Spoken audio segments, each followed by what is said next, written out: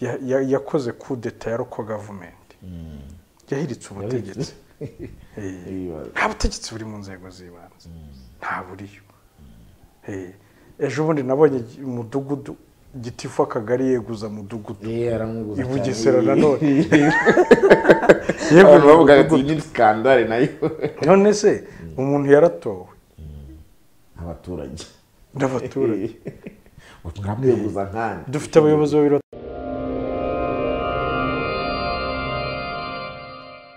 muraho waba uri kubaka cyangwa se gusana ukaba ukeneye ibikoresho byo kurangiza inzu yawe mu mucyo utangaje? Credo ceramics ni cyo gisubizo cyawe. Credo ceramics bafitiye amakaro meza y'ubwoko bwose utasanga ahandi harimo n'ayamamaye ku isi hose ya sagi ceramics. Tubafite n'ibindi bikoresho by'ubwubatsi birimo amarangi meza ndetse n'imashini ziyavanga mu mabara yose wakwifuza. Tubafite purafo za rangete dushe na tuwarete byose byiza cyane. Dusanga imbere ya gare ya remera unyuze mu muhanda uri munsi ya sitasiyo ku nyubako ya ikaro plaza. Waduhamagara kandi kuri zeru karindwi umunani umunani mirongo inani na kabiri mirongo itanu mirongo ine na gatandatu. Ikirenze kuri ibyo turanabatwaza. Umva nta cyiza nabonye aho gusangira n'abagusanga agasembuye. Kamwe kuje icyanga kandi gacurika icyaka. Mu misango rero abasangwa n'abashyitsi basanganiza jini ya mowapu voduka ya mowapu mowapu mirano y'inaji itera imbaraga ikaba nziza cyane kuko ivanze na voduka ubahe na sangiriya furisante bazataha bashize inyota kandi bakuvuga imyato. Ntibihabwa ariko bari munsi y'imyaka cumi n'umunani kandi si byiza ku bagore batwite. Ibi binyobwa byuje uburyohe n'ubuziranenge bikomoka mu bihugu by'uburayi nyarubuga mu kwenga agasembuye tukabigezwaho na new hope. Ari na yo ituzanira n'izindi poroduwi zatunyuze za mowapu byose murabisanga mu mujyi wa kigali rwagati muri tedemiri imbere yo kwandamage no mu yandi maduka hirya no hino mu rwanda. Telefone ni zeru karindwi umunani karindwi mirongo itatu na rimwe mirongo irindwi na kane makumyabiri na kabiri. Waba wifuza kwiga hanze ku migabane y'isi itandukanye nka amerika aziya erope ndetse n'ahandi? Niyo turavuna igisubizo cyawe. Tubohereza ku mashuri meza kandi yizewe tubafasha kubona ibyangombwa by'ishuri ndetse na viza hari amahirwe yo kubona buruse kandi turi ku kigero cya mirongo icyenda n'umunani ku ijana cy'ababona viza biroroshye birihuta birahendutse kandi birizewe. Ku bindi bisobanuro wadusanga mu mujyi muri sentene house muri etaje ya gatatu cyangwa ukaduhamagara kuri telefone zeru karindwi umunani mirongo itatu mirongo irindwi na gatanu mirongo itatu n'umunani.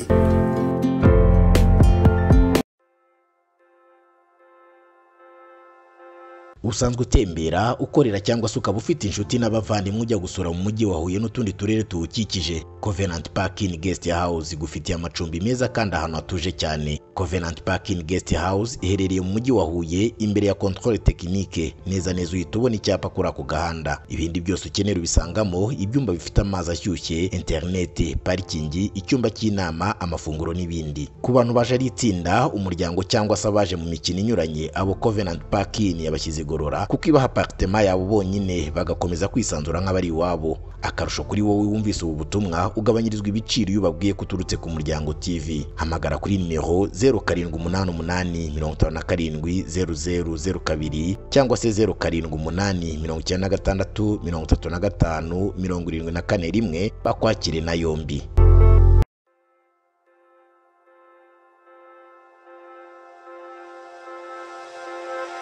Urashaka ahantu ho gukorera kandi hisanzuye. Inyubako Link yiteguye kwakira ubucuruzi bwawe n'ibindi bikorwa binyuranye. Inyubako iri ku ruyenzi neza ku muhanda ahaberanye n'ubucuruzi. Supamaketi farumasi kenkayori kofi shopu na resitora bar sitowa n'ubundi bucuruzi bunyuranye gana inyubako Link. Abashaka gukora ubucuruzi bwa coffee shop bar na resitora iyi nyubako yubatswe mu buryo buborohereza ubucuruzi burimo ibikoni n'ibindi bikoresho binyuranye. Inyubako Link ikora ku muhanda munini imbere ndetse n'inyuma ikaba hagati mu zindi z'ubucuruzi. Ku muhanda ahantu hagaragara kandi hagendwa. Ikagira parikingi ihagije interinete n'ibindi byose byorohereza ubucuruzi bugezweho ubu. Hamagara kuri nimero zeru karindwi mirongo inani na gatandatu mirongo itatu na gatanu mirongo itandatu na karindwi mirongo ine na rimwe uhabwa andi makuru.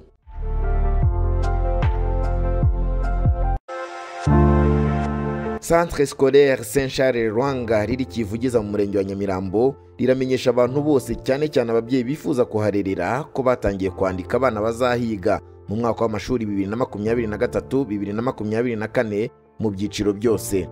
Ku bindi bisobanuro birambuye mwabahamagara kuri nimero zeru karindwi umunani gatatu cumi na gatanu mirongo itatu na kane zeru zeru cyangwa se kuri zeru karindwi umunani umunani umunani mirongo itanu na karindwi mirongo itandatu na gatatu icyenda.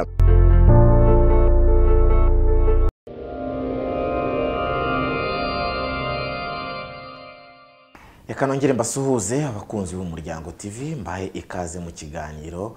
Ndi joseph iradukunda ndi kumwe. Nanjye yosefu izi ni amahoro Mm, makeya. Abantu turi kwitegura imvura nyinshi. Mm, twe- makeya. iburengerazuba ntibabibara uturere n'ibiza eh, hari imvura izagwa hari abantu basabwe kwimuka byihuse. Eh, kuva mu manegeka abasebeya bababwiye kuyibisa bagomba kuhava ntandi mananiza rwose. Aho ntahazwi Eh, nabonye bitera uko byaramutse. Eh, n'umujyi wa kigali reka nabo bazahagera. Iriho harabaruye. Eh. Harabaruye nabo bari kwimura. Gusa inzego za leta cyangwa se z'ubuyobozi zagiye zibabwira ati kwimuka ni mandato ugomba kubanza gusevinga ubuzima bwawe mbere yo gutekereza ubundi bufasha ubwo ari bwo bwose. Henda turaza tuzabigarukaho turabigarukaho mu kindi ndindiriye mugenzi wanjye. Atari wowe. Yego.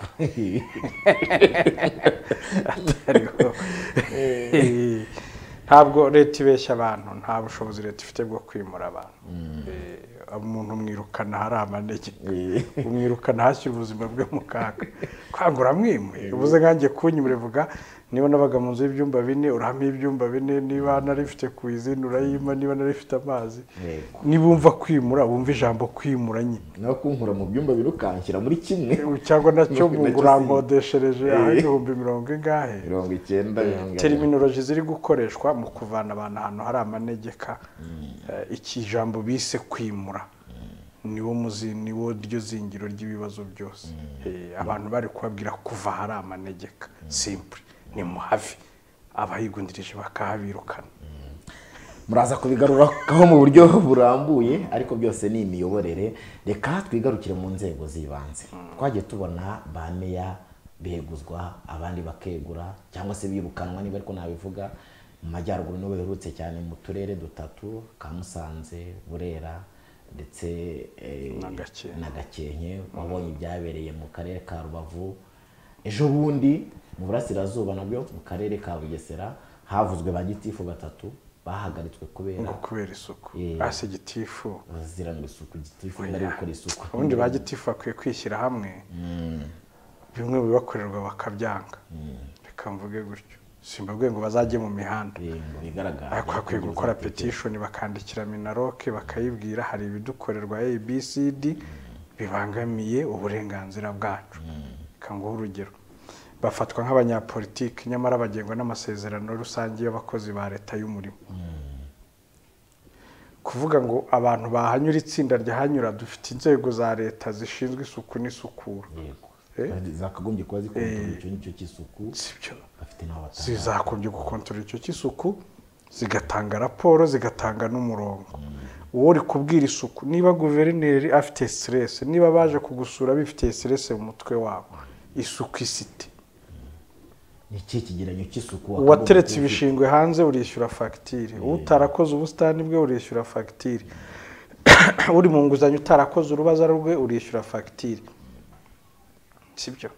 Ejo bundi nabonye hari i Nyanza babashyirishijeho imigongo iburasirazuba babashyirishijeho amakaro. Eh, ku mihanda kuri ya mazu y'ubucuruzi niko bavugaga. Ni ukuvuga buri muyobozi ategeka ikimuri mu mutwe.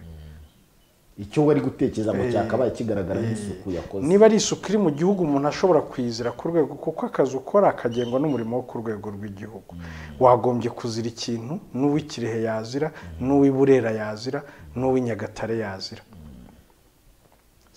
Akaba ari ikintu kiri komuni bahuriyeho bavuga bati isuku mu karere isuku irasa gute? Eh, wahagera rero ntuyasange akabona isuku irasa gute? Gitifu yibazwa gute? Kuki umuturage utagize isuku atabibazwa ese udashaka gitifu kubera akajagari kari mu nzego z'ibanze kuki batakwigaragambya ugasanga ntacyo bari gukora kugira ngo bamwirenze? Nabyo birashoboka. Ugasanga yahagaritse nyirantare kandi ba nyirantare bafite amazu ku busantere. Usanga yacaragaritse ibiyobyabwenge kandi ba nyiri ibiyobyabwenge nibo ba nyiri inzu z'ubucuruzi. Nimuvugurure aha byihorere.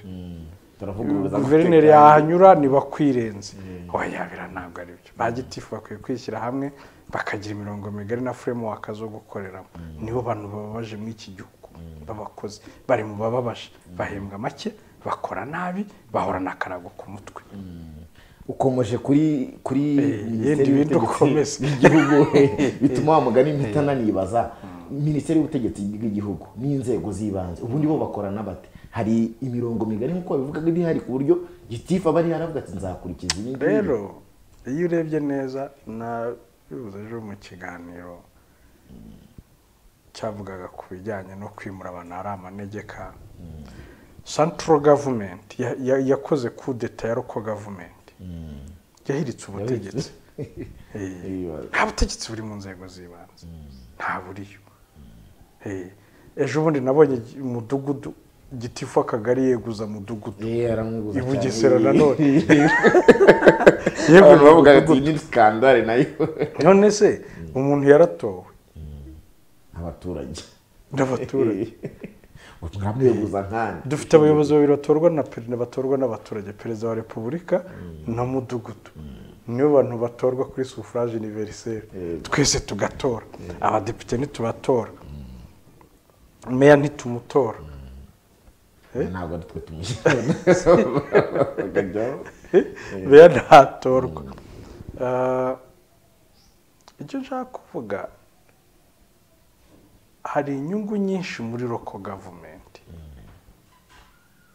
zitekerezwaho eh, ngira ngo desantaralizasiyo itekerezwaho ibyari amakomini hihuje komini ebyiri muri bibiri eh, bibiri na gatanu bisoza gahunda faze ya mbere birarangiye tujya mu ya kabiri ariyo yiyi aho wasangaga noneho ntabwo ari amakomini abiri gusa nk'akarere kagizwe n'amakomini icyenda nk'atanu bitandatu icyenda gutyo. Eh, haba uturere utu turere tubona bamwe banakora tirishori waba udashaka kujya muri aka karere gace k'iwanyu ufite imbaraga ukaka. Bagaho ukagakata byabaye kuri nyamagabe na huye.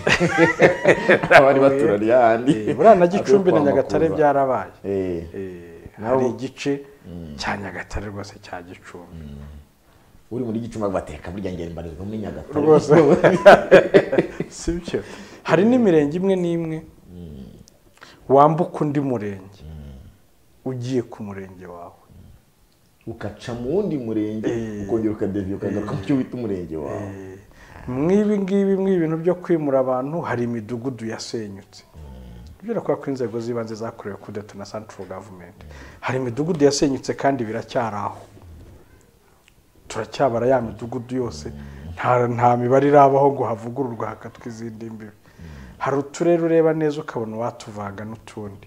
Eh, ukareba ukabona nta kintu gashingiyeho ku ntabwo buryo ndi utakomeka ku kandi akarere. neza. Ntacyo mufite rwose. Ntacyo buri no kukuzamura biragoye. Hari uturere tumwe na tumwe usanga ariko biro birakosoka twigeze kujya tubivugaho ntabwo wayobora umujyi n'icyaro ngo bizamurire rimwe. Eh, hari imbaraga nka meya wa Huye afite agace k'umujyi ashobora gushyiramo imbaraga akavugurura. Nako kagoye sibyo? Afite n'ibice by'ibyaro bifite imibereho y'ibyaro. Kuzahuza izo kontekisite ebyiri. Ubu bariho baragena byibuze ni nk'uko umujyi wa kigali ba meya bawo bareba uwo mujyi gusa. Eh, Eh, ibice by'ibyaro byabo bakabireba nk'ibyaro nk'umujyi ukeneye kurya nabo bakabipuraningira Eh, sibyo? bataramuhingira. ariko byibuze bakavuga ati dufite uyu mujyi. Eh, ariko niba ari nk'iriya mijyi yunganira kigali nabonye bariho babikosora hari hazabaho ikintu gisa na management y'uwo mujyi. Yihariye. Uyu- uwo mujyi wunganira kigali wonyine ariko iyo mijyi yunganira kigali iyi mijyi yunganira kigali.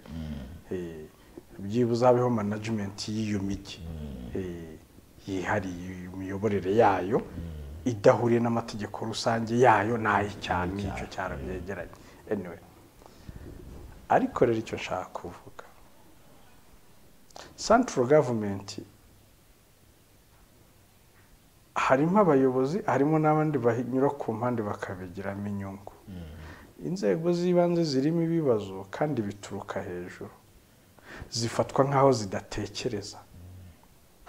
Kandi desantaralizasiyo ko ari ukuvuga ngo mugende tugiye kubegereza ubuyobozi n'ubushobozi. Eh, Eh, zifatwa nk'aho zidatekereza. Ni ukuvuga ibintu byose biva hejuru zo ziri impurimentinga gusa. Ziba zihagaze hariya nk'abagomba gukora icyaje. Eh, mukora iki niba gukora rondereza bivuye gukora ibi bya biyogaze bivuye hejuru na bugesera na nyagatare na kirehe bazazikora. Niba ari mcc zivuye hejuru n'isave hari ingurube tuzazubaka hari n'ama- hari n'amashyiga ngo ya cana rumwe bategeka abantu kuyubaka mukayubaka mwese. Ngo ni cana rumwe. Kandi bamwe ntibanafite n'ibyo biti byo gucana bashobora gukora. Urumva nyine ntabwo zemerewe gutekereza.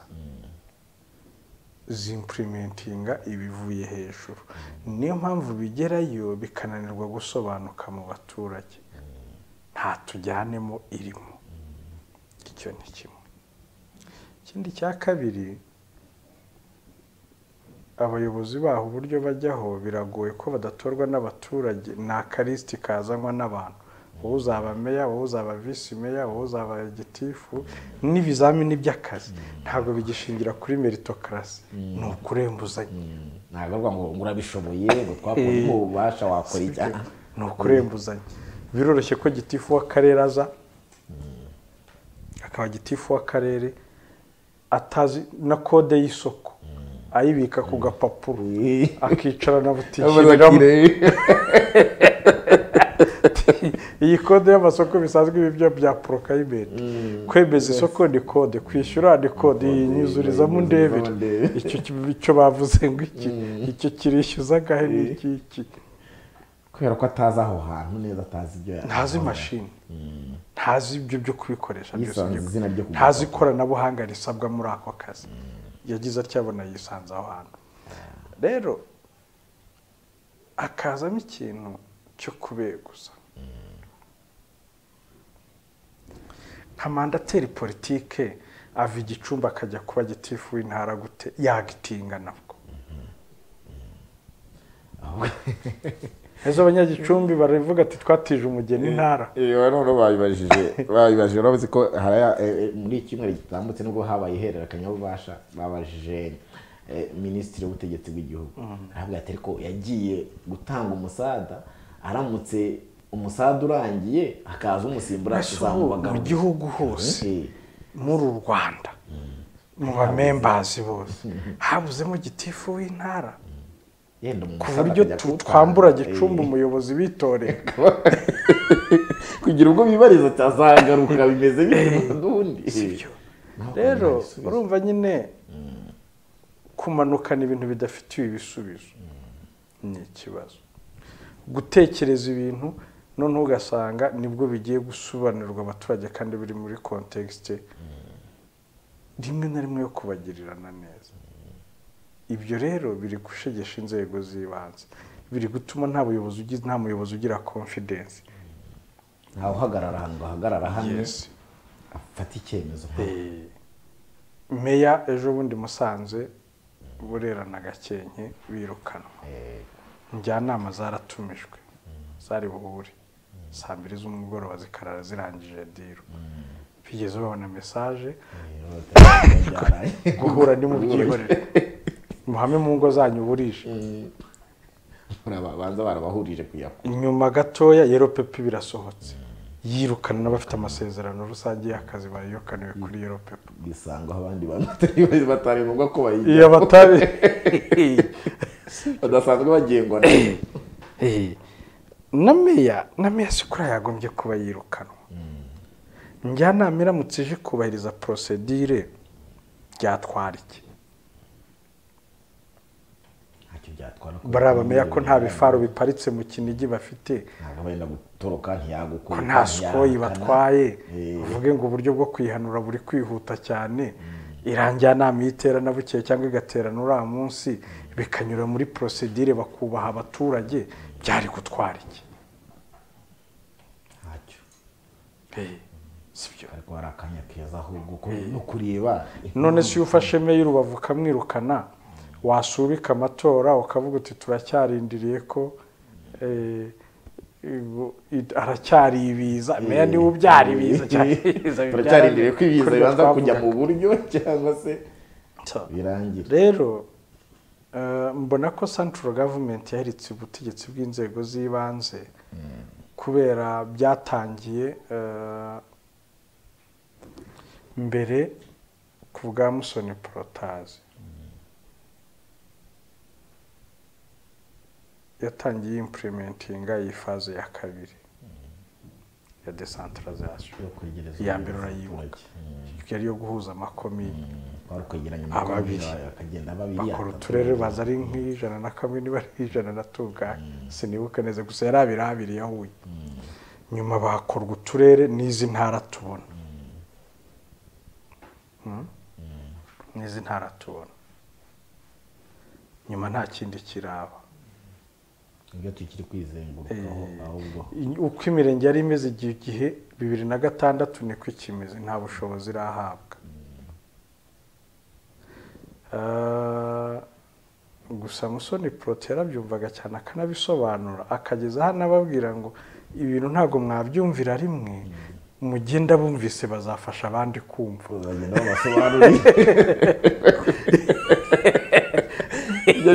Muri sare muri mu nama bariho basobanurira desantaralizasiyo batereka byenda b'imbere babyumvise bazagenda babasobanurira abandi ofira mezire. Eh, ndibuka ko igitangira.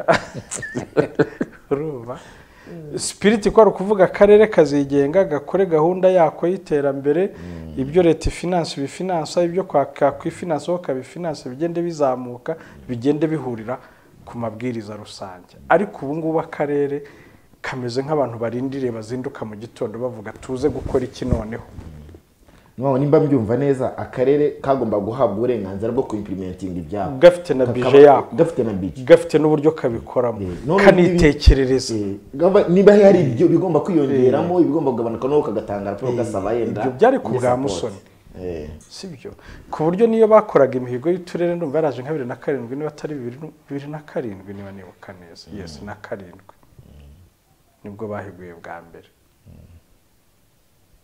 Bibiri na karindwi bibiri na mu mpera za bibiri na gatandatu ni bwo byari byaje ah bibiri na karindwi. Ntaza kubivanga. Mu mpera za bibiri na gatandatu bibiri na gatandatu bibiri na karindwi mu kwa karindwi. Buri karere karahigaga. Usanga harakahize isuku bakareba bakidantifiya ibibazo bafite. Bakabihiga. Icyo dukeneye hano yenda ni isuku. Ndibuka ko nyamagabe hari igihe yajyaga ihiga n'inkwavu. Mu guca imirire urukwavu ku muturage. byaba ari sawa ariko Eh, burya inkwavu zigira ifumbire ya danje yego. Zikanororoka zaciye imirire mibi nta kindi cyazayica kandi ntabwo zirushya uzorora. Zikagira n'inyama nziza z'umweru. Sibyo ndabyibuka rwose. Za gisagara zigahiga isuku. Kari agace k'icyaro abaturage bagifite amavunja bagifite iki? Inkweto ari ikibazo. Imihanda idakoze buri karere kagahiga uko gashoboye. Bakazateza abaturage bacu Eh, intambwe bavuye muri bwa buzima ntabwo bakora icyo gihe huye ndajya nibuka igishushanyo cyayo cyaze kuvamo cya hoteli fo kuko yari kuba izasa niyo mwahize hoteli. Eh, cyari kiriho ko uko huye izasa Eh, jya nyibuka iyo hoteli uko yari buzase hoteli fo ko buzase Yari buzi- ariko cyari cyiza nyine n'ubu ntikuramenyekana Eh.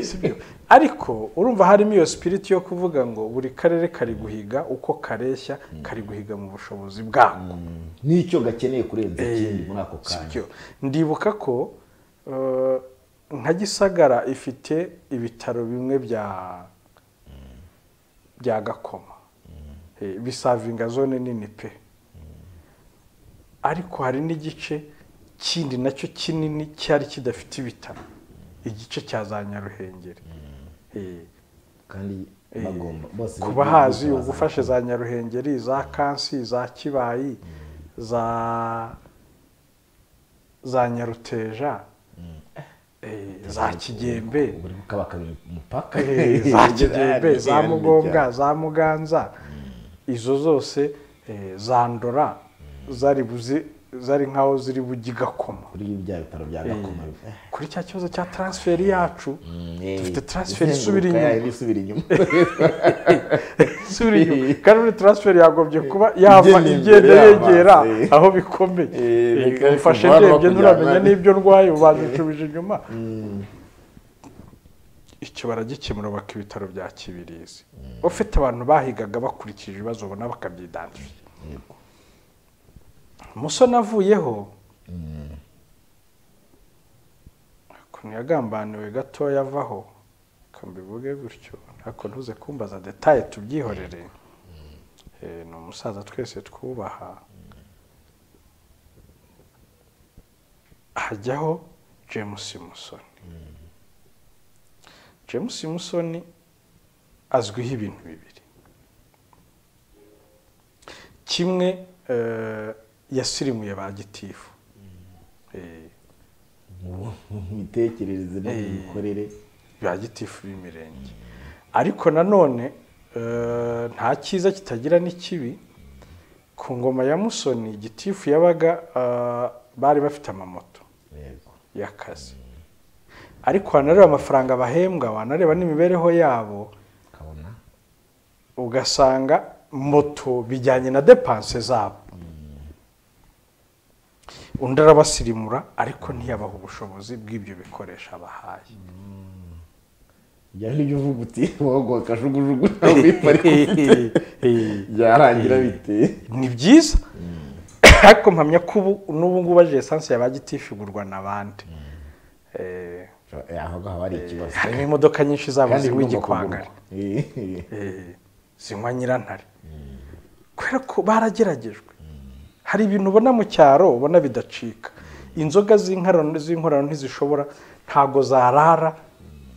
Zidafite abazifitemo inyungu bari bashinzwe kuzica. Ntabyo ntibishoboka. Ariko se ufashe igitifu ukamuha ibihumbi magana atandatu ukamuha ramusamu ya magana inani. Sibyo ramusamu ukamuha imodoka yishyuramo miliyoni. Ni ukuvuga azafata ya modoka? Yego. sibyo? Eh, oya afate magana inani bamuhaye ramusamu. Yishyuremo miliyoni. Ni ukuvuga ku mushahara wa magana atandatu arafataho magana abiri. Nafataho magana abiri. Harasigara magana ane. Eh,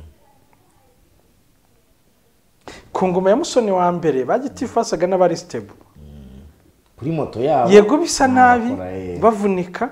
Ariko byagaragara ko ari shansi y'ikiyubaka. Musoni wa kabiri abaha imodoka. Byiza cyane. Ariko n'ubu rwose nyakubahwa minisita mushyashya. Bagitifu bibuke. Baracya Eh. baracyahangana ni bagitifu bameya bafite indamunite kilometirike ibirometero batagomba kurenza. z'inama bajyamo hirya no hino. Gitifu ntabwo ashobora indamunite kilometirike bayiguha hejuru y'ikilometero cya mirongo itatu. Eh, ku rugendo wakoze rurengeje ibirometero mirongo itatu. Iryo tegeko ryapurika kuri ba gitifu kandi mu murenge nta rugendo ashobora gukora rurenze ibirometero mirongo itatu rumwe gutya rushoreranye ariko iyo azengurutse na magana ane yabikora. Ane gusa kuko ni hanini cyane. nta namwe yabona urugendo rugize gutya. Muri sureti rugenda gutyo rurambuye. Kuzenguruka uzamuka umusozi uturika ukata. Hariho nk'imirenge ifite imisozi icuritse gutyo usanga kugira ngo agere inyuma y'undi bisaba kuzazenguruka undi. Yego. Ba gitifu babarira mu mibare gutyo. Na n'ubu nkeka ari byo bibazo bagifite. Na n'ubu niyo mpamvu ari ibibazo by'abaturage bidakemuka ni uko bamwe mu babikoresha bashobora kuba bafasha gufasha leta guhemba ba gitifu. Baba b'utugari bahembwa ubusa mirongo inani yarataye urugo yarataye iki? Kandi agakora akazi kari politike byariswe ko kari tekinike. Uw'umurenge ni uko nubona za nyirantare zidacika uzamenye ko ziriya modoka zimwe na zimwe. Zinywa iyo nyirantare esansi ibuze zinywera nyirantare cyangwa zikanywa igikwangari Eh, hari n'izirya amashyamba. Zirya imbaho. Iyo byanze zigashyiramo imbaho kabisa. Sibyo okay uh, musoni abigenza atyo.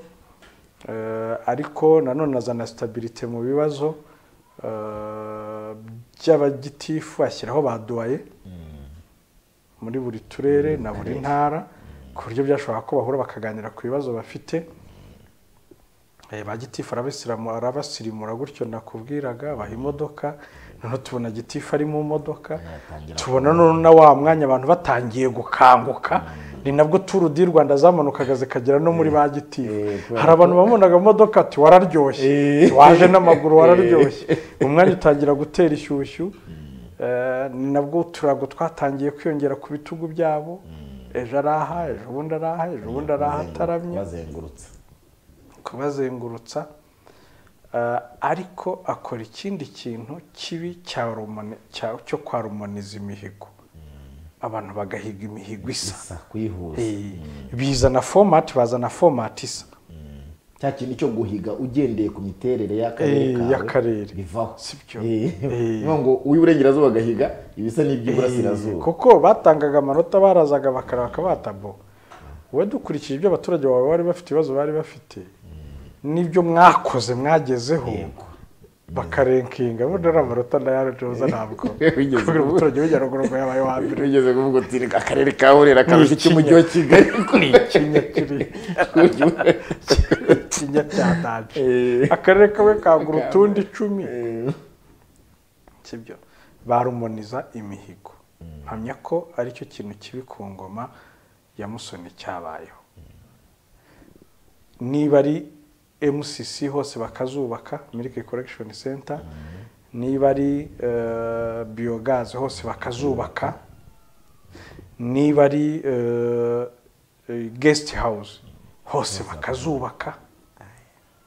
Sibyo niba ari eh, udukiriro hose bakatwubaka batitaye ko nta soko rihari sibyo ku ngoma ye ibyo byatumye kwa rumoniza imihigo byatumye hiyongera icyo bita mayidro project. Imishinga yahombye. Eh, batangira ukuzura Eh. kuba ngo ibintu bigiye kuba neza ariko uzasanga hagiyemo inyoni n'ibindi bintu Aye. bitaganira. imishinga yahombye. Rimwe na rimwe idafite n'icyo ishobora kuba cyo.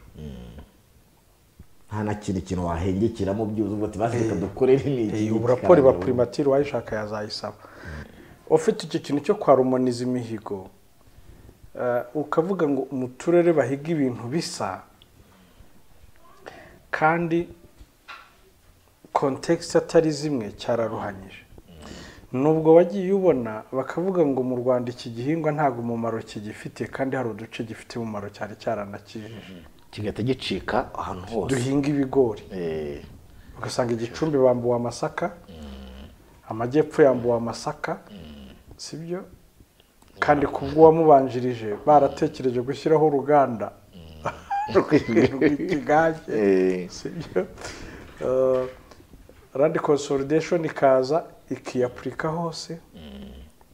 Igihingwa kimwe ngo cyera ahantu bikiyapurika hose. Inganda zikaza zigakoresha abaturage nk'abazegisipurata ubundi abaturage bagasonza n'abana bakagira imirire mibi. Imihigo isa yatugwishije mu manga. Yagize ikibazo gikomeye ku miyoborere. N'abameya barenganiramo n'iki? Kuko wasangaga wahize ibintu bitari ibyanyu nawe urabura kubyimprimentinga biri kugucanga biri kubigenza kubera ko reka nkubwize ukuri aho buri uramutse wubatse gesite ifite abakiriya. Irara yuzuye. Iyo itaba Eh, afite cyane. Niba na yo ibibona ngo ni kurya amajyi aba amahuri neza nta n'umwe nuhatambuka wanza n'ukirwa uzaba azi iya rutsiro Eh, ya rutiro nta muntu uyikandagira. Yamaze oya yamaze iyo yamarishije abayobozi. Yanga yanga yanga yanga yanga yanga Uzaba azi yakabuye ugutambuka urumva imihigo irasa biteza igihombo umusore asimburwa na kaboneka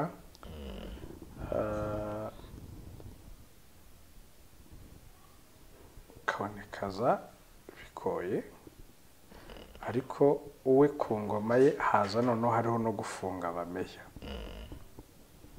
Hasaga n'ahari amakosa hasaga n'ahari amakosa menshi cyane mu turere utamenya hari abameya bazira ibintu bitari diporomatike kubatukira mu nama mu ruhame. mu ruhame. Eh, muzuka bigeze kumusohora i nyanza ari mu nama uwa gicumbi bigeze kumufungira hano muri muri fawe. Abwira rpc ati funguye bati we mujyane. Polisi imugejeje imbere y'abantu bavuga ngo turamushinja sibyo uko ari ukukureba nabi gusa ugahita ujyanwa nta na cyo agaciro rwose kubona meya afungiye kuri sitasiyo y'aho ngaho ngo afungiye raporo nigeze kunyura kuri meya wa rusizi. Afungiye kuri sitasiyo ya kamembe ngo arazira raporo ya mituweli ngo yatanze imari itari ya mituweli. Kuko ntibari barahize nanone gutanga mituweli ijana ku ijana abantu bose urahiga gutanga mituweli ijana ku ijana na batanu utaranabagaburira Eh, eh. umuntu arashonje ni ukubona igihumbi cyo kurya ku munsi ibibazo wanza ugahiga ngo uzatanga mituweli ijana ku ijana wumva zizava kereka Ba nuzibatangira meya baragiye babaha manovici babaho ku buzima bwa hamana birabagora. Eh, ufite ya legasi hari igihe guhorana icyoba utakaza legasi niba umuntu agutukiye mu nama ejo uzagaruka uvuga ngo iki? Urumva utakaza utakaza icyizere urifitemo uburyo wagombaga gukora wumva hari ikintu gihindutse gukora agakoryo binagwaho. Ntabwo yakoresheje inama meya yohereza visi meya. Yari afite indi delegasiyo y'abantu baturutse i kigali agomba kwakira. Tugenda ubu ugiye ndaza kubasanga kuko iyanyiri butinde hari igihe delegasiyo ize kamara iminota mirongo itatu mirongo igahita ine yikomereza igahita yikomereza meya koko amaze kwakira delegasiyo azi aho yakoreshereje inama binago hakimona ahinguka kuri ati get out get out meya ahagarara mu baturage n'abagitifu aravuga ok bose twigendere arasohoka sare yose iramukurikira ubu Dogiteri, ngubu minisitiri asigaranamo na delegasiyo abatokero mukomeze. Ariko buriye kamubwire habayeho abaminisita b'abasirimu twagize. Binago habamo. Buriya. Niyo akudiribuye ariko ko ko- ko yari afite rigeri ya danje. Niyo akudiribuye akudiribura mu kinyabupfura. Eh. Ntabwo azanira ubunyamuzungu uboneye ngo byagiye hanze n'iki umuntu nzi yigeze kwirukana yari umuyobozi w'ibitaro bya Huye bya CHUB akoze hejuru y'akabati ngo abone umwanda ku ntoki Eh, eh, birukana diregiteri w'ibitaro. Reka natwe turihemukira hejuru y'akabati. Hejuru y'akabati. Diregiti iyo yarahuye iyo nyine ni control and command. Yabizira sibyo? Ariko uburyo yabizizemo butesha agaciro yaroreye. Ku buryo n'undi uzaza kuyambara. Nawe azahita ntabwo ari cyo cyihutirwaga ubuze minisitiri azaba muri sare kamari jose Eh, kakamugwaho. nzarara. Cyangwa se umubu ugatambuka ukamurya kubera ko ntiwawukingi kamari jose ni nko kuvuga ngo ibitaro byose cyangwa ubyandika isazi kazaturuka icyarwa yiruka no ku Eh, kirahure ko ishobora kuza ihunze ivuye mu matuwarete yo ku mukoni Eh, yaramukubita mu mpanga. Icyo gihe rero yarasubi ntabwo ni umusirimu cyane. Yari umuhanga ni umuhanga cyane muri diporomasi cyane. N'abakozi be barabikubwira. Iyo bari mu nama hari eh, abantu bo hanze ukadekona. Eh? Ibyo yavuze reka mwunganireho gatoya. Akaguhonda basohotse Eh. yabanzaga akagusapotinga Eh, eh, akagira uko abigira ku eh, murongo. akaguhonda yarangiza basohotse. batari ko buriya wavugaga ibiki ni umuhanga cyane yari umudiporo yari minisitiri mwiza cyane. Eh, ibindi byo ni akazi nyine hari ibyo by'akazi bibaho. Ariko kuri kote y'abakozi ni ukurengera abakozi be ari na sayo uko bakora n'abandi bose bahura ntawe yabaga yashwaza hari ngo ntiyakifuza ko hari abandi bagucishamo ijisho bagucishamo kandi ijisho. witwa umukozi kuko riba ritaraverishije minisiteri. Yego eh, ko wamugana uru- urasebya umuntu kandi nawe biri Eh, ari kugusebya. ugukorera eh. amadosiye Eh. uri kumusebya uri kumutuka ariko nk'iki cyavuye. Byarangiza ati duhenda ukamubwira ok unkorere dosiye y'uyu mugabo areba cya Cya kintu wazanye, cya kintu ngo eh. kintu kiri ku buryo utangira no kujya ku ese tugufashe tuguhe? Eh, yahise asohoka aregera nyangezi sinzi ibyo bavuganye mu egiskizaho bagaruka mu nama irakomeza simufure Eh, yari umusirateje cyane. Eh, urumva? Mu nama ihuye rero hakurikije meya muzuka. Sibyo uhagurukije meya muzuka. Urangije. Umutoka atinze imbere y'abagitifu bicaye aho sibyo? Eh, amushitinze umubwiye amagambo urababwiye ngo sohoka ugende. Mandateri politike ntabwo ari byo Cyo, ufashe meya wa gicumbi ngo polisi ntigufunge ntibagufunge muri mu nama. Nyuma yaho se kugenda bite? Ese ubwo muzuka ari buhamagare ba gitifu nyuma bikagenda gute ntabwo baba bati inshuti yacu bati inshuti yacu twabonye ibyo bagukoze tubaza iki? Ubanza ngo baramuhamagaye ageze za rusatira ataha avuga ati biraza nyine buriya. Ntabwo byoroshye. Eh, urumva bamugari rusatira yigendeye. Eh, ariko urumva urumva igikomere byari bisize. Eh, gutesha agaciro ba meya nyobozi bikabaho eh, afata na minisiteri arayimilitariza cyane. Ayigira nk'iyibiturika igihe igisirikare yari yimilitarije cyane. Kuri icyo gihe raporo basohoyemo ba meya hmm? kandi kuva yayimilitariza ntawe urayidemilitariza byarakomeje byarakomeje. Na n'ubu ni uguhanga. Eh, ntawe urayidemilitariza Eh, yarayimilitarije eh, ba gitifu b'imirenge bakoze abashyashya bagiyemo akaba byibuze yigeze kuba mu gisirikare ikaba yenatu bibaho bimenyerwa gutyo. N'iyo raporo y'ibijyanye n'isuku. Inama yari yabereye i nyanza. Sibyo pana imbere umva byari ibiturika gusa harumvikana urumva ufashe umukuru wa polisi umukuru w'abarinda perezida ufashe eh, byari ibi bya shusho protection. Bamuritse raporo yakozwe n'abasirikare abasivili batayizi. Icyo cyari ikosa gusa rikomeye cyane. Eh. Y'ibibazo muri biri muri shusho protection. Byakozwe n'abasirikare. Raporo yakozwe n'abasirikare abasivili inzego z'umutekano iza gisivili Z'abaturage zitayizi ba meya bayiboneyeho. Batazi ibirimo nabo bari nta n'ubusobanuro bayitanzeho. Eh. bayimurikwa bayibarizwa mu nama. Ingana gutyo irimo umukuru w'ingabo ku rwego rw'igihugu umugabo w'ingabo irimo uwa polisi irimo mpfa nkubwiza ukuri nta kintu wasubiza kabisa. Usibye no kuba utarayibonye. Niyo wakoze banza byagora. Ku buryo bakora ngo aha n'aha hari ivunja urabihakana uhereye ku kintu utari uzi ko noneho wanareba neza ugasanga bamwe na bamwe ugasanga abo baziza ni abantu bo ku dusantire bafite baba bafite ikibazo cyo mu mutwe. Ni ikosa kuba batavuzwa. Ariko ntabwo icyo kintu cyo kuvuga ngo cyashegesha abameya n'ubundi buyobozi cyo kuvuga ngo ah, ni gute abantu bashobora kuzenguruka akarere nyobora bagakoramo ubushakashatsi bagakoramo raporo? Ntayizi batangiye batagize icyo bambaza. Batazi ibyo turi gukora nk'ahari ikibazo nkibabwire nuko giteye. Nibwo turu di rwanda zatangiye wakwinjira muri sare ugasanga hicaye abasirikare hicaye abapolisi.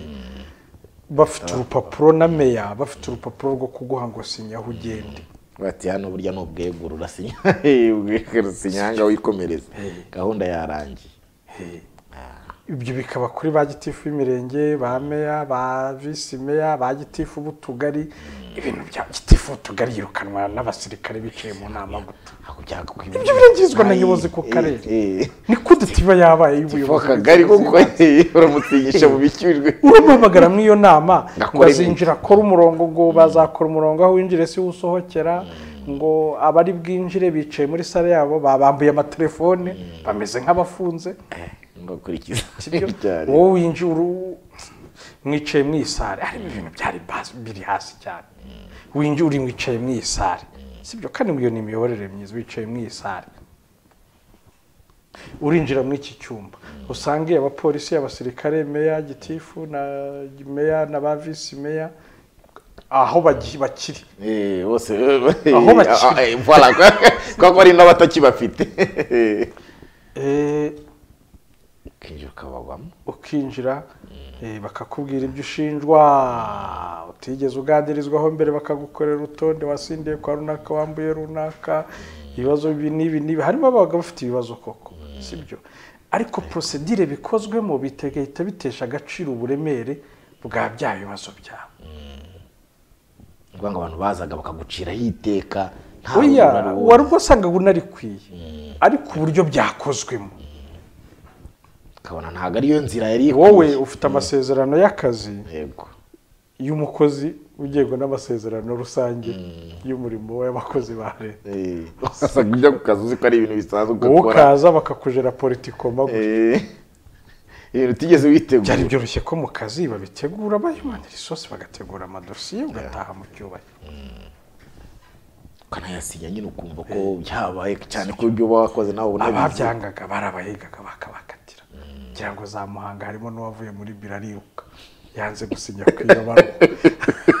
Ariruka amarura aravuga. Eh, amera nk'utorotse bati ntabwo ndi bubisinya yirukanye sibyo urumva inzego zagiye ziba militarize Ah, uburyo abantu birukanwa uburyo basezera abantu batangira gukora akazi bagize ibintu. Biragora. Kimeze nk'icya puresha babubatsemo. Eh, ndibuka hari n'inama zari zitangiye kujya zibera mu mabarakisi gisirikare. Ya gisirikare. Eh, eh, hari igihe cds nyamvumba yigeze gusanga ari akimihurura eh, eh, hageze mu maso Ba meya bakoreye inama. musibira inzego z'ibanze muri mesi ya gisirikare. Noneho bakabona abantu bara- baranyura bagira kandi ubwo bahuye bamwe ntibari kubana ngo babone ko ari abasirikare tubona ko wat- winjiriwe kabisa barahura. Bunama gisivili urabona abasivili dusuhuzanya banyakubahwa yajya kubahwa wibagira ushyize amaboko inyuma wifashe neza wiguza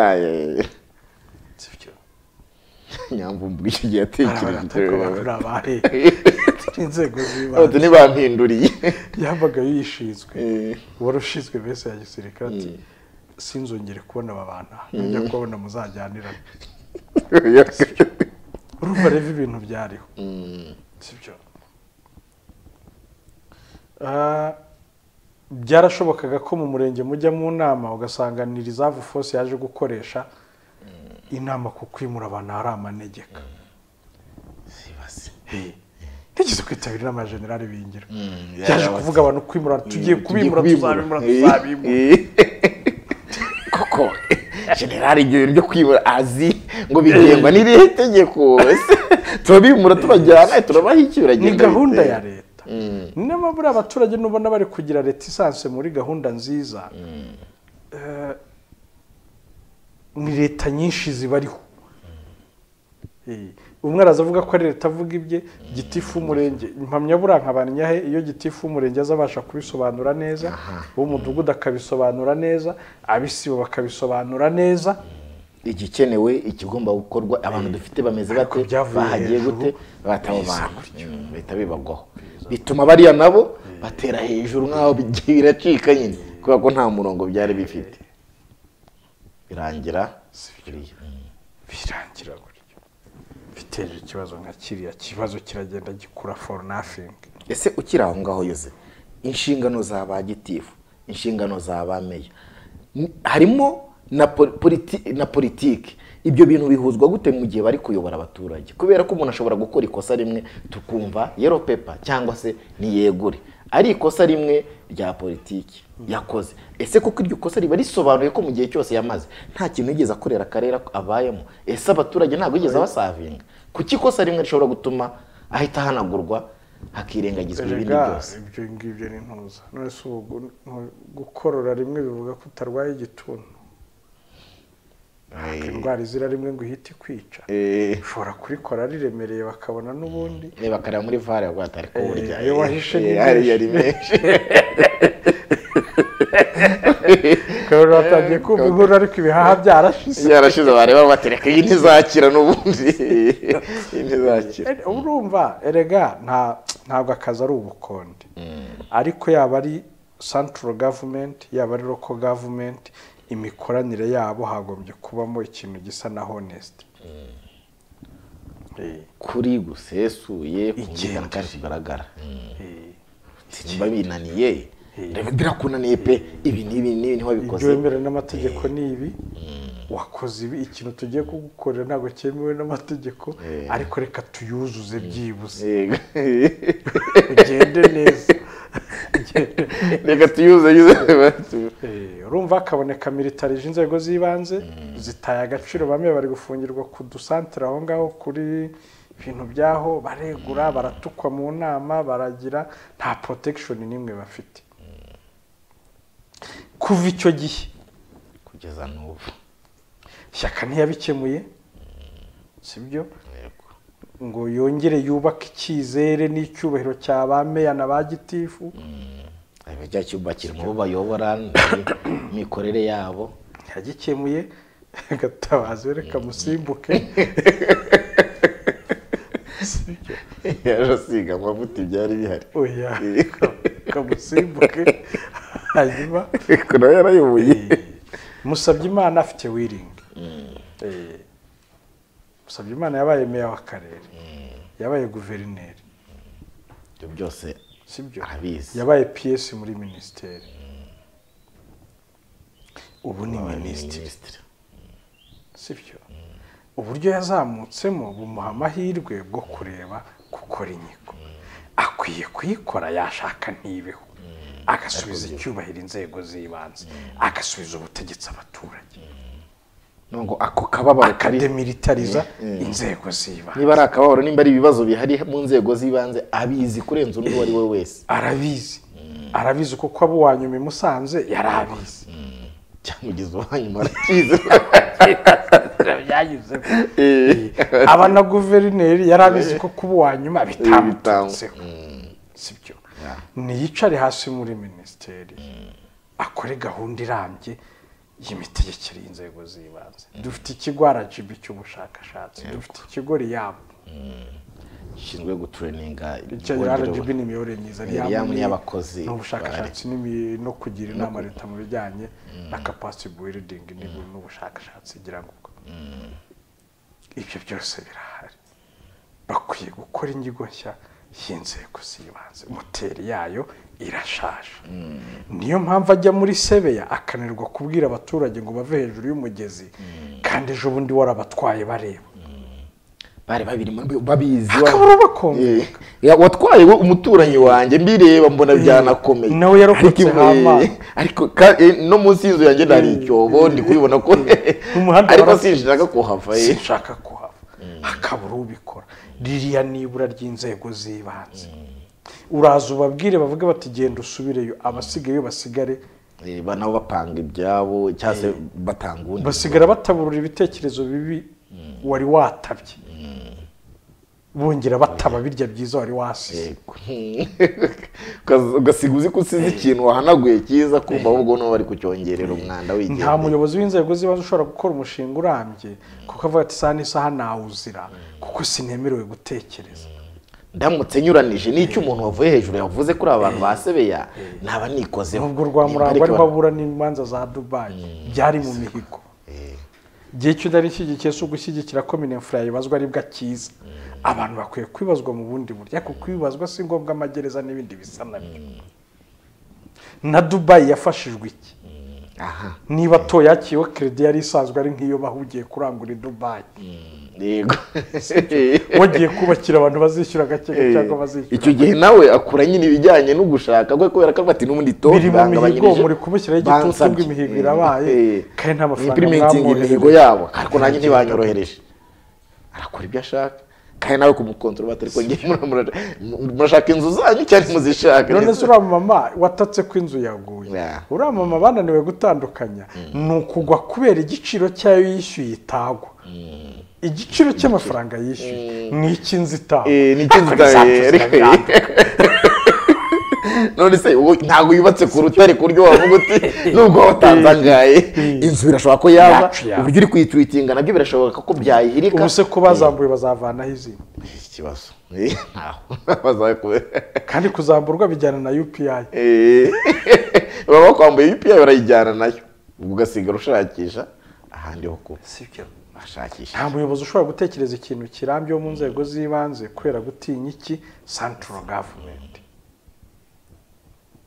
Ukikingiza wicecekera ukabyihora rero ibintu iyo bituritse bigenda gute? Mutekereza kubaka akarere kuzura mwese mwegura. Ibibazo biba byabaye sibyo Eh, ni mugakorera mugakorerwamo n'abandi kandi mwagatekereje mukavugurura mutekereza kubaka amacumbi kuriya birangira mwese mugenda n'abatiyuzura nawe uzi kuri buhita ukurikira So, birasaba rero ko wari afite umwanya eh, agira amahirwe n'umugabo wicisha bugufi mpamya ko nta meya wamutinya Ah, ari open. Hari abantu baba open bakavuga ibyo batekereza. Ariko nanone ugasanga bikubiye eh, no gushaka kugaragara. Eh, Ya. atari atari ibyo ari gukora nk'umutimanama no gushaka kubihindura. ahubwo bumve ko nari mbifite ba- wakubwiza ukuri icyo atekereza ku kibazo iki n'iki ayo ni amahirwe ku bayobozi bakorana n'abandi bameye n'abamukuriye. Igisigaye ni uko inzego zimukuriye zimwongerera inkoni y'ubushumbi ikabaho ndende gake. Cyangwa ikaremera byibuze akaba yicara eh, Ah, afite bagenzi be bayiyoboye. Gusa ni porotaze arahari watangiye n'izi nzego z'ibanze ari muri panafricanism ni we chairman wayo. N'abandi bagenzi be bayiyoboye. Niyo yatumiza inama yabo. Kumuze nimumuvu- mumubwire. Dukosora iki ko mwanyuza. Namwe mwicaye hari icyo mubona. Eh, Eh, mwangije. Eh, atatangiye kutumenya arashaka kandi twarahabanje iyo umukiriya akubwira ibyo yakoze mu ikipe wibwira impamvu itatwaye Eh. shampiyona kandi yari ahari n'ibyo byose avuga ko yabikoreye amakufura meza gari kadire nk'uko yavugaga. Imipira yaruye. Ariko kibazo akita ashatse igitego arakibuze. yenda ibyo babivuyemo bakicara hasi bakavuga open ibibazo bihari. Eh, ariko inzego z'ibanze ziragenda ziducika ziragenda ziremba ziragenda zigira. Eh, abantu bariyo ntabwo navuga ngo babeshya leta ariko uburyo bakorana na yo na yo barayizi ko igoye itabemera ko batekereza itabemera ko bagira icyo bahindura niyo mpamvu bazinduka mu gitondo haramutse iki? Hari iki? Basi se bo nubwo utajya mu mutima wabo ubwo bushake hari ababufite kubera ko niyo tureba nanone tukavuga nta muntu duti, "Niyo utifuza impinduka mu ibi ngibi." mikorere. Ye Eh, Eh, nta muntu utifuza impinduka mu mikorere. Ye nko kwicara ukabaciraho iteka na byo tuba turebye niba uri hafi. meya niba uri urebye hafi. Urebye hafi. Ariko ufata urugero rworoheje. Ubwiye abantu utaha ahantu utuye isaha n'isaha wahagwa inzu izakugwaho ibipimo byose birabyerekana by'ubuhaname. Ibipimo by'imvura izagwa meteo yabipima. None ufite n'ubuhamya wa fesinze n'amaso yawe. Byongereho. wowe warabyiboneye noneho. Ni iki gituma utari kumva? Ni ukuvuga za nzego z'ibanze nta bushobozi zigifite bwo kumvisha umuturage. Zumvisa wa muyobozi wo muri central government. Iyo zimwumvishe minisitiri agataha anyuzwe. Nta kibazo kuko abaturage nta jambo bamufite. Yego. Ahita yitura. Ni mu mujyi wa kigali. Akavuga bicara hariya mu biro. Eh, bakora ripoti bagasanga mu myaka itatu ine inzu ibihumbi mirongo itatu na mirongo ine. Zubatswe mu kajagari nta byangombwa. Kandi bagatangira noneho za mbinu zo kuvuga ngo ngo ba- bakabarura amazu aho kubagira ngo babarure abubatse eh, raporo igaturuka i bumbogo ivuga umubare w'amazu. Ivuga amazu yubatswe raporo y'amazu. Wavuze raporo y'abubatse mu manegeka. Kandi ushobora gusanga aho yosefu ari wubatse amazu nk'atanu ariko yose eh, ukuri uri umuntu. Nkanjye yosefu. Mm. nsohotse kuri iyo raporo ivuga ko nubatse mu manegeka. Hari ijiga zigabanuka hari ibiro ndara ntakaje byanze bikunze byanze bikunze urumva nawe utangira bamenye bamenye kandi wabikoze bakwiye gukora inyigo bakareba ibyahinduka bakareba uburyo imbaraga z'ibitekerezo biva hasi bizamuka byahabwa agaciro bakareba uburyo abayobozi bajyaho koko niba bibasha kubaha imbaraga zo gusavinga abaturage abaturage babibonamo icyo ni icya kabiri twarabibonye barinyaho bisaba ko polisi igota umudugudu saa sita z'ijoro. Yabara abakazi niba bifatiye. Ukagira ngo ni uko batumva se ni ukwinangira Eh, kugira ubwo Mhm. kuzengurutsaho polisi biturika iki ni iki umuturage adashobora kunyagambura. N'uburyo arega bagomba no kureba bagakora inyigo y'abayobozi babayeho bati. Kandi iri honesiti babayeho bati bakenera iki n'iki batabona? Kuki bajya hariya? cyangwa gitifu w'umurenge dukeneye. Ni imashini itabyara itonsa idaheka itarambagiza idapfusha itabatizwa idasonza idasinzira. Eh, eh, eh, ni ukuzirikira ahantu hamwe kabisa. Niyo mashini. Nko kurera ibuye. Niyo mashini. Ntahashoboka bakicara hasi bakavugana ibintu tubamo birashoboka. Akazi dukora karashoboka. Abafite abirangije buriya kwirundaho imbaraga. Ese ni inyungu zande? Nk'aba bameya birukanwa usanga ari na ba cayamani b'ishyaka ryabo mu karere. Dufate nk'ibintu twabonye kuri guverineri byose. Nihavuka ikibazo bazamutumiza mu nama ze nka guverineri. Asubireyo none no ku rwego rw'ishyaka bavuga ko turi moteri ya guverinoma ko havutse iki kibazo muhamagara abo kireba. Bahamagare ba cayamani bahamagara abacamani Eh. guverineri nuko agaba azakatira ishyorongi Eh. naragirayo n'ibyo ba guverineri Eh. akatira ishyorongi Mm, agaruka agaruka mu Ni ukujya muri made in rwanda bagahita bamukubita ishati y'umutuku n'umukara. Eh. Eh, agahita agaruka. ati ngo yagezeyo kandi agarukiye ishyorongi hakeneye inyigo nshya y'inzego z'ibanze. Ibibazo tubona si uko abanyarwanda turi babi si uko abaturage turi babi si uko tutumva leta kandi si n'uko leta itadutekerereza neza. Aya mana ibi bisa naho bisa n'ibi n'ibyo ubona bigoranye sibyo? Bikarushya abaturage kubyumva ni ukubisobanurirwa n'abantu benshi. Bamwe batabyumva abandi babifitemo inyungu zinyuranye. Kuko ufashe nk'urugero rw'amanegeka hari abafite inyungu mu manegeka. Eh, hari abafite inyungu kuri sebeye Mm, eh, cyane. Eh, na ruriya rugero rwa banyahe warutanze wacyabaho nivuga ngo bagarura inzu zubatswe mu manegeka ntibabarure nyirazo. Niba umuntu yari afite imiryango nka makumyabiri imwinjiriza. Mu by'ukuri nta manegeka aba ayirimo ntiyitaye ku buzima bwawe ariko baramwishyura bitanu makumyabiri. Uwo muntu atandukanye n'ufite umuryango umwe wumva kujya mu nzu yubakiwe ikomeye ntacyo bimutwaye ibi byose rero harimo uba uri ukodesha amanegeka gute? Eh, ariko se nanone leta yakoze iki? Kuko Eh. wubaka ya manegeka. Rege yaraje iguha umuriro. Wasake iguha amazi. Buriya nka leta ishaka gusenya amanegeka ni urugero harimo ahanegetse nari nabuze ko turi bukigarukeho ariko reka nyibikire indi ntuza reka tuze ku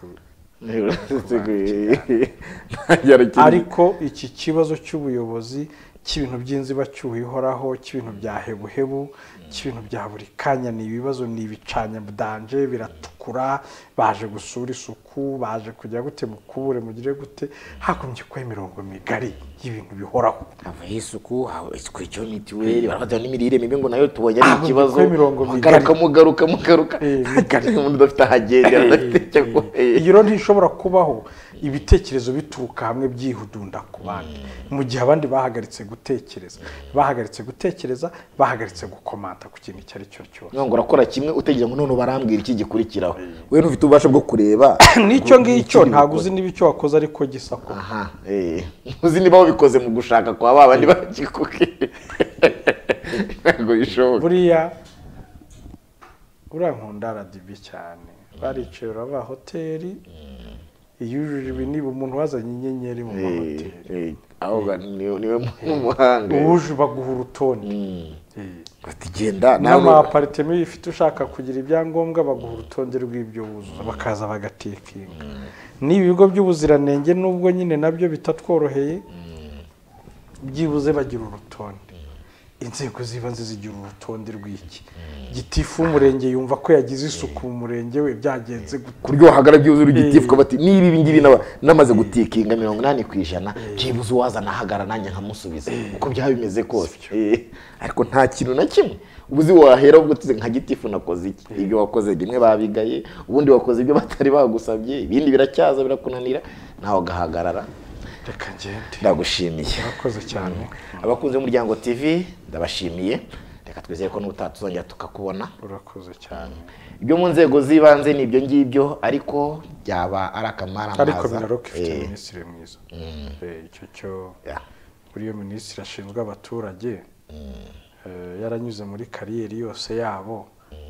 Eh, akaba azizi ariko na personalite ye ikaba itaremereye. Ariyoroshye itaremereye ntaremereye kuvugana n'abantu. Eh, igisigaye ni uko n'abameya bakwisanzura bakamubwira ibibazo bye. Ariko nawe agashakisha imbaraga za mwuka zindi ziremereye zo kugira icyo ahindura Aha. nk'uko musoni wa mbere yabihinduye muri desantarizasiyo yari afite imbaraga. Mm, kangarukire kuri ubu minisitiri w'ubutegetsi bw'igihugu urasabwa gukomeza inkono utazayikandagiza ahantu hamwe ikanyerera ikavunika ibyo byose bizagerwaho. Abakunzi b'umuryango tv turabashimiye. Reka twongere mu bindi biganiro. Ndagushimiye joseph. Urakoze cyane. Like comment nk'ibisanzwe ku muryango tv nta handi ibiganiro nk'ibi wabisanga. Amahoro.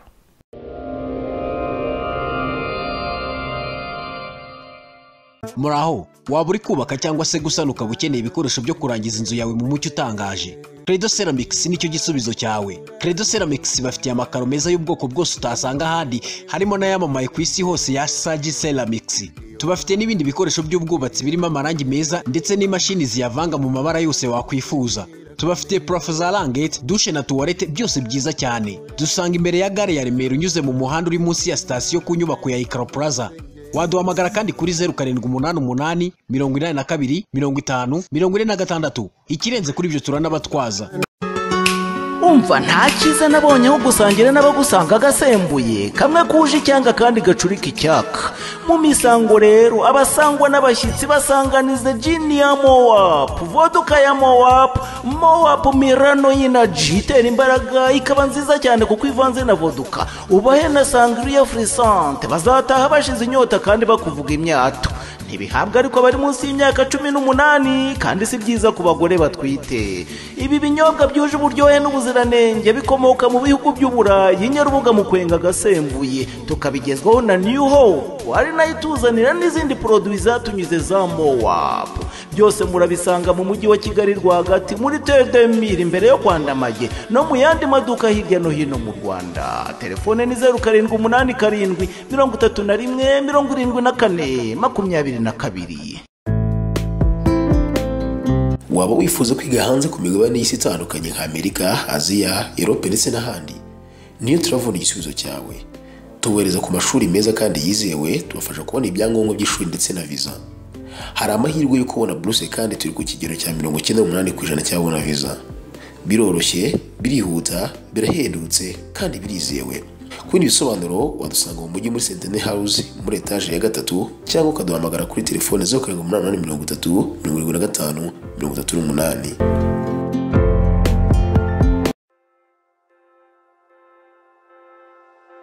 Usanzwe utembera ukorera cyangwa se ukaba ufite inshuti n'abavandimwe ujya gusura mu mujyi wa Huye n'utundi turere tuwukikije. Covenant Parking Guest House igufitiye amacumbi meza kandi ahantu hatuje cyane. Covenant Parking Guest House iherereye mu mujyi wa Huye imbere ya Controle Technique. Neza neza uhita ubona icyapa kuri ako gahanda. Ibindi byose ukenera ubisangamo ibyumba bifite amazi ashyushye interineti parikingi icyumba cy'inama amafunguro n'ibindi. Ku bantu baje ari itsinda umuryango cyangwa se abaje mu mikino inyuranye abo Covenant Parking yabashyize igorora kuko ibaha apartema yabo bonyine bagakomeza kwisanzura nk'abari iwabo. Akarusho kuri wowe wumvise ubu butumwa ugabanyirizwa ibiciro iyo ubabwiye ko uturutse ku muryango tv hamagara kuri nimero zeru karindwi umunani umunani mirongo itanu na karindwi zeru zeru zeru kabiri cyangwa se zeru karindwi umunani mirongo icyenda na gatandatu mirongo itatu na gatanu mirongo irindwi na kane rimwe bakwakire na yombi.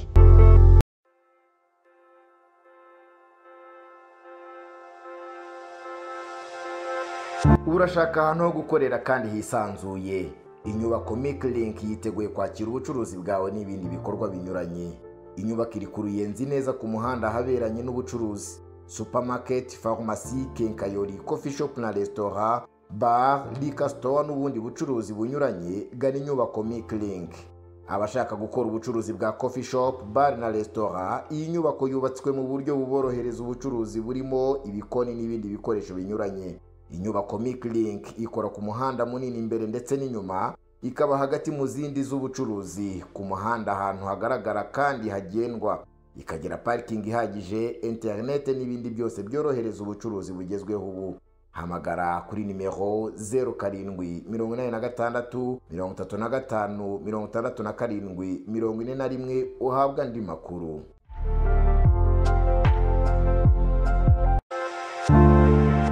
Scolaire Saint Charles Rwanga riri kivugiza mu murenge wa Nyamirambo riramenyesha abantu bose cyane cyane ababyeyi bifuza kuharerera ko batangiye kwandika abana bazahiga. Mu mwaka w'amashuri bibiri na makumyabiri na gatatu bibiri na makumyabiri na kane mu byiciro byose.